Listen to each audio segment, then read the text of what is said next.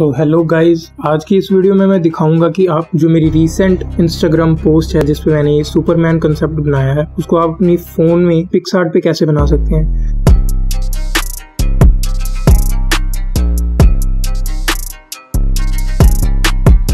सबसे पहले आपको क्या करना होगा, आपको एक इस तरह से फ़ोटो खिंचवानी होगी, जिसमें कि आप ऐसा एक्ट कर रहे हो कि जैसे आप अपनी शर्ट खोल रहे हो और उसके नीचे से कुछ रिवील हो रहा है। और इस फ़ोटो को क्लिक करने के बाद आपको सिंपली क्या करना होगा अपने पिक्सार्ट में आना होगा पिक्सार्ट ऐप में। उसके बाद मैं कुछ आपको जो है पी और जो फ़ोटोज़ है, उनके लिंक दे दूँगा। सबसे पहले आपको क्या करना होगा, आपको वैसे ही, आपको सेम तरीके से जो लास्ट टाइम जैसे मैंने बताया था, आपको टूल्स पे जाना है पहले क्रॉप पे जाना है देन देन आपको यहाँ पे वैल्यूज़ पे क्लिक कर देना है और यहाँ पे आपको सिलेक्ट करना है विथ आपको लिखनी है one zero eight zero and height पे आपको क्लिक करना है और वहाँ पे लिखना है one three five zero done कर देना है इसको और रीसाइज कर देना है। तो ये जो होगा, अब आपका रीसाइज हो जाएगा, इसके बाद इसको ओके कर देना है। देन गाइज़ आपको नेक्स्ट स्टेप क्या करना होगा? आपको धीरे धीरे फ़ोटोज़ ऐड करते जाना होगा। सबसे पहले आपको एड फ़ोटो पे जाना है। आपको ये वाला जो बैकग्राउंड है, इसको सिलेक्ट कर लेना है पहले। देन आपको ऐड कर देना है। फ़ोटो को थोड़ा छोटा करके इसको मैं फ्रेम के साथ फिट कर दूँगा। तो गाइज़ आपको इस पे कोई ज़्यादा मेहनत करने की ज़रूरत नहीं होगी क्योंकि मैंने इस पे ऑलरेडी बैकग्राउंड को बनाकर इसमें सन की फ्लेयर ऐड करके और इस पे ब्लर जो है लगा दिया है तो आपका जो है टाइम बच जाएगा। देन एड फ़ोटो पे क्लिक करना है आपको। एड फ़ोटो पे क्लिक करने के बाद आपको अपनी टेक्स्ट लेयर जो है, जो उसको सिलेक्ट करना है देन सिंपली फ़ोटो को थोड़ा छोटा करूँगा मैं। इसको बड़ा करके मैं बॉर्डर्स के साथ जो है फिट कर दूँगा और इसको और इसको एकदम ऊपर ले जाऊँगा। यहाँ पे फिट करने के बाद मैं फिर से अब क्या करूँगा? एक बार फिर से एड फ़ोटो पे क्लिक अब की बार मैं दो फ़ोटो सिलेक्ट करूँगा जो आप अपनी ऐसे फ़ोटो खिंचवाएँगे। और एक मैंने यहाँ पे सुपरमैन का जो है, वो दे दिया है आपको पीएनजी तो सबसे पहले मैं इसको थोड़ा साइड पे करूँगा। अपनी मॉडल लेयर को लेके आऊँगा आगे। तो मैं थोड़ा बड़ा करके रीएडजस्ट कर लूँगा सेंटर में।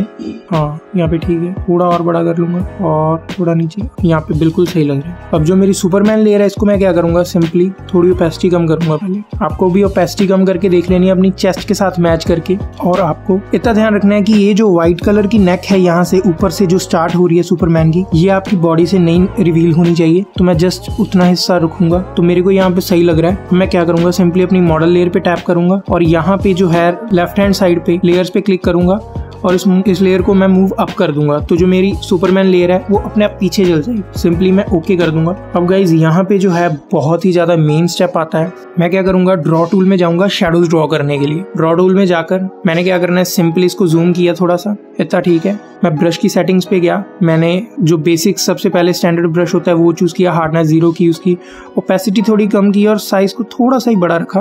पहले मैं एक स्ट्रोक मार कर देखूँगा, सही लग रहा है काफ़ी। तो मैं थोड़ा इधर एडजस्ट कर लेता हूँ। पीछे करके देन सिंपली मैं यहाँ पे स्ट्रोक्स लगाने शुरू करूँगा। ध्यान रखना, जितना आपका जो क्लोदिंग एरिया होगा, जितना वो टच कर रहा होगा, उतना वो डार्क होगा, जितना वो नहीं कर रहा होगा, उतना वो लाइट डार्क होगा। फॉर एग्ज़ाम्पल यहाँ पे मैं एक स्ट्रोक मारूँगा, या दो, मेरा चल जाएगा काम। लेकिन अब यहाँ पे मेरे को तीन से चार स्ट्रोक्स मारने पड़ेंगे उसको थोड़ा डार्क दिखाने के लिए। सेम मैं हैंड्स के ऊपर भी ऐसा ही करूँगा। और यहाँ से भी, नीचे से भी। तो गाइज़ अब इतना होने के बाद जो मेरी शेडोज हैं, वो गई, वो बन चुकी हैं। अब सिंपली करना क्या होगा, मेरे को इरेज टूल पे जाना है। जो मेरे को ओपेसिटी है, वो हार्ड हाई कर देनी है। हार्डनेस जो है, पूरी ऊपर फुल कर देनी है। और ब्रश का साइज़ जो है, वो ऐसे एडजस्ट करना है, ताकि जो भी मैं यहाँ से सिलेक्ट करूँ, वो हटता जाए। बट मेरी शेडोज की लेयर को सिलेक्ट ना करे। प्रिसाइजली आपको काफ़ी ज़्यादा जो है मेहनत करनी पड़ेगी। ये ट्यूटोरियल काफ़ी ज़्यादा टाइम टेकिंग होगा आपके लिए। बट अल्टीमेटली ये आपका ही फ़ायदा देगा। मैं हाथ पे अभी ड्रॉ कम करूँगा क्योंकि इसको मैं आगे बताऊँगा कि किस लिए मैंने छोड़ा है यहाँ से। सेम यहाँ से। थोड़ा एस्टिमेट से लगा के मैं कर दूँगा। अब जैसा कि आप देख सकते हो, मेरी जो शेडोज है, वो नीचे काफ़ी सही फॉर्म हुई है, लेकिन वो ऊपर काफ़ी बेकार लग रही है। तो सिंपली मैं सेटिंग्स में जाऊँगा इरेजर की हार्डनेस ज़ीरो करके ओपेसिटी कम करके ब्रश का साइज़ हल्का सा बढ़ा के ओपेसिटी थोड़ी कम कर दूँगा। और बस यहाँ से मैं स्ट्रोक्स मारने शुरू कर दूँगा, ताकि जब तक मेरी जो डिफरेंस वाली लाइन है, जो पता लग रहा है, जिससे यहाँ से शेडो है, वो बंद नहीं हो जाती, या वो डिफरेंस जो है कम नहीं हो जाता सिंपली यहाँ से भी मैं ऐसे ही कर दूँगा। इससे होगा कि इससे बहुत सही ग्रेडियंट बन जाएगा। और गाइज़ मैं आपको इश्योरिटी देता हूँ कि जो मैंने फ़ोटो फोटोशॉप पे बनाई है, वो पिक्सार में बन जाएगी। और यहाँ से सिंपली मैंने काफ़ी स्ट्रोक्स मार दिए हैं। और मेरे को जो है रिज़ल्ट काफ़ी सही लग रहा है। अभी जैसा कि आप देख सकते हो, जो है, वो, जो है शेडोज काफ़ी सही बन चुकी हैं। अब इसको सिंपली मैं क्या करूँगा?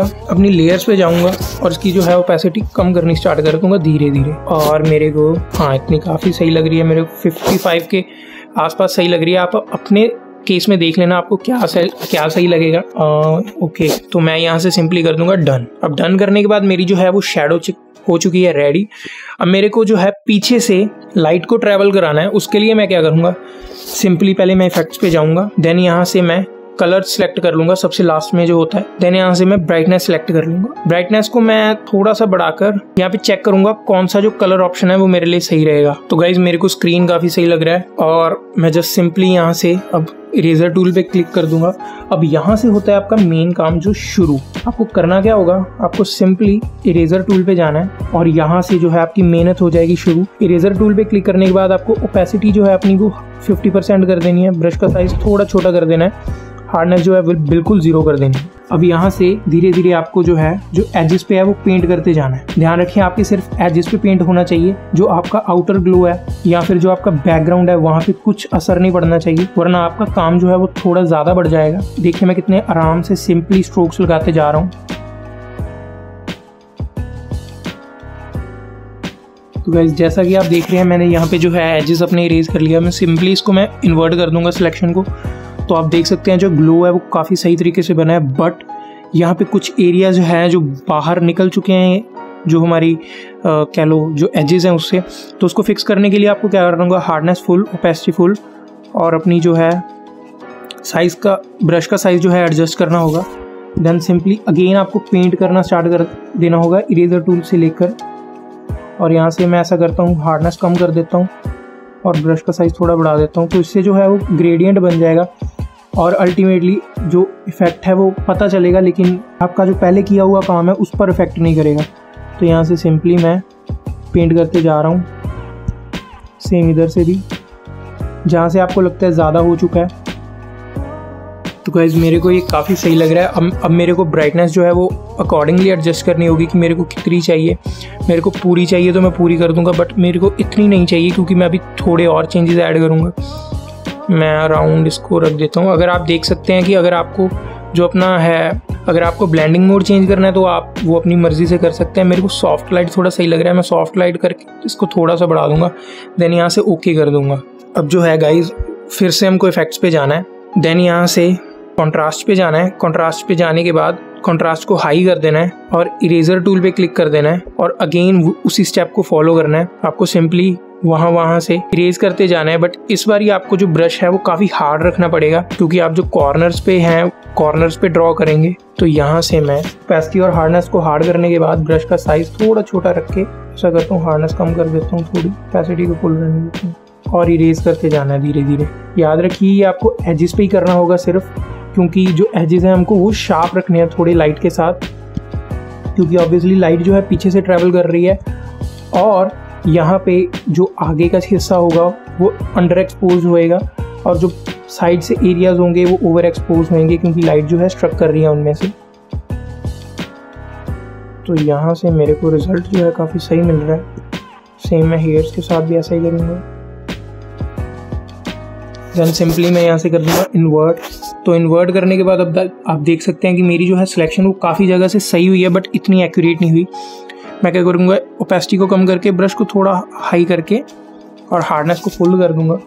अब सिंपली मैं यहाँ पे स्ट्रोक्स लगाते जाऊँगा,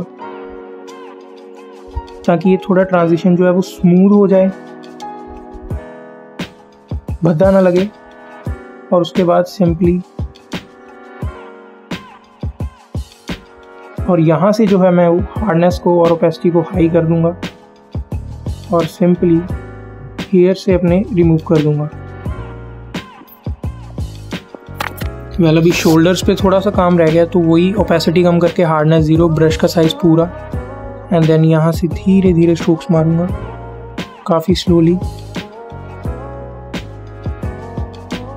तो अब यहाँ से कर दूँगा मैं ओके अब आपको देखना है कि आपकी जो है वो शेडोज वो बिल्कुल सही बन रही हैं। यहाँ से मेरे को थोड़ा सा और चेंज करना पड़ेगा।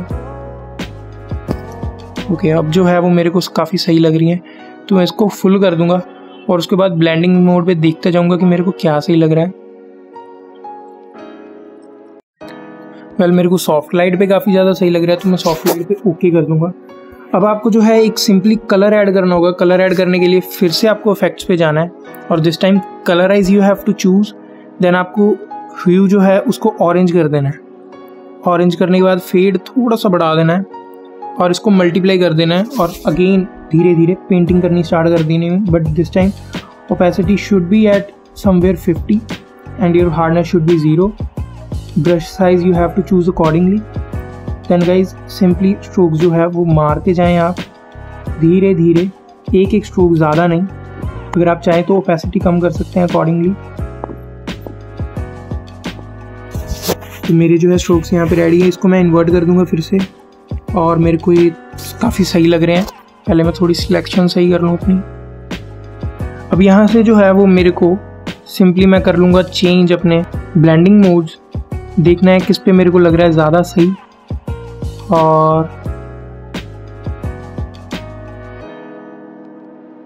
मेरे को सॉफ्ट लाइट पे काफ़ी सही लग रहा है, क्योंकि मैं सिंपली ह्यू को एडजस्ट करके ऑरेंज ये आपको ध्यान देना है कि आपकी जो टिंट है वो पीछे वाले कलर्स के साथ मैच होनी चाहिए। ट्वेंटी टू मेरे को सही लग रही है। फेड हल्का सा मैं बढ़ा दूँगा और यहाँ से कर दूँगा मैं ओके तो भी मेरे को काफ़ी सही लग रहा है जो है रिज़ल्ट मेरा। अब इसके बाद मेरे को जो है वो शेडोज जो हैं वो अपने आगे ऊपर ड्रॉ करनी पड़ेगी। एडजस्ट पे जाऊँगा मैं। यहाँ पे मैं ब्राइटनेस थोड़ी कम कर दूँगा। कॉन्ट्रास्ट हल्का सा कम कर दूँगा। सेचुरेशन हल्की सी कम करके हाईलाइट ज़ीरो और शेडोज थोड़ी सी कम। और जो सॉफ्ट ब्रश है ओपेसिटी कम हार्डनेस ज़ीरो सॉफ्ट ब्रश के साथ अपने फेस पे जो है हल्का सा पेंट करूँगा चेस्ट पे आर्म्स पे। और सुपरमैन वाला एरिया जो है मैं वो छोड़ दूँगा और इन्वर्ट कर दूँगा यहाँ से सिंपली तो आप देख सकते हैं जो मेरा